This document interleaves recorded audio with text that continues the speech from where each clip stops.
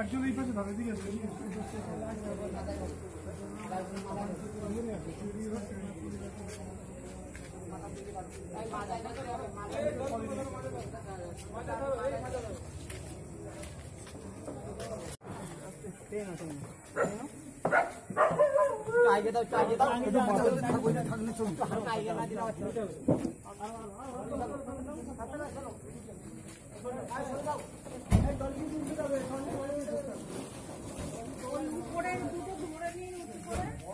যদি এখনও আমাদের স্টিং নিউজ চ্যানেলটি সাবস্ক্রাইব না করে থাকেন, তাহলে এক্ষুনি সাবস্ক্রাইব করুন আর বেল আইকনটি ক্লিক করুন। পেয়ে যান সব খবরের দ্রুত ভিডিও আপডেট